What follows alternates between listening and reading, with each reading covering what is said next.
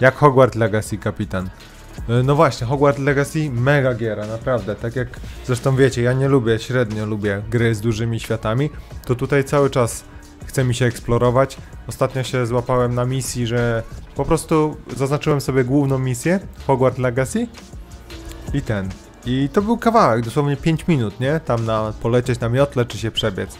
I po drodze coś co chwilę znajdywałem i mówię, a dobra, to zbiorę, bo potem zapomnę. A tutaj jeszcze jeden item, bo też zapomnę, nie będzie mi się chciało cofać. I tak się złożyło, że misję, którą miałem zrobić, która dosłownie była 5 minut ode mnie, Hogwarts Legacy, to się skończyło tak, że po dwóch godzinach do niej nie dotarłem, bo co chwilę robiłem coś pobocznego, nie? Jakieś znajdźki tutaj, coś i tak dalej. Także, no ja sobie dosyć powoli gram, ale chce mi się robić te poboczne rzeczy, bo one faktycznie dają fajne rzeczy. Nie tylko jakieś główienka do achievementów, tylko dają fajne stroje, często odblokowują misje poboczne, które dają na przykład dodatkowe czary, no, dodatkowe spele i tego typu rzeczy.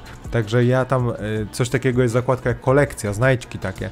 Ja mam 45% tych znajdziek. Mówię, dosyć sporo robię pobocznych, ale nie wszystkie.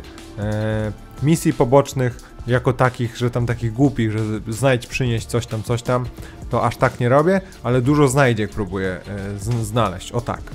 Może misji pobocznych e, aż tak dużo nie robię, ale dużo szukam po prostu, eksploruję znajdziek, jakichś skrzynek i tego typu rzeczy.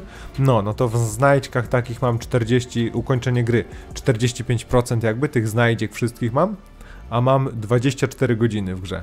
Także to jest kosmos, naprawdę. Gdzieś obstawiam, że w story jestem gdzieś w połowie, tak mi się wydaje. A, i nie ma takiego czegoś w Hogwarts Legacy, że nie da się zrobić takich bajerów, że się e, podleveluje mocno i wtedy wszystko jest na hita. Nie da się tak zrobić, bo gra skaluje. Czy ja, ja mam misję na przykład rekomendowany poziom 19? Ja mam 20 powiedzmy 5 czy 6? to i tak mam przeciwników na ten 26, nawet na 27 level. Także zawsze jest na równo albo minimalnie wyżej niż ja level mam, e, bo na przykład na pobocznych misjach sobie trochę podlevelowałem, nie?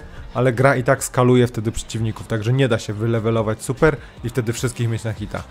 Z jednej strony fajnie, z drugiej, z drugiej tak sobie, ale jest spoko.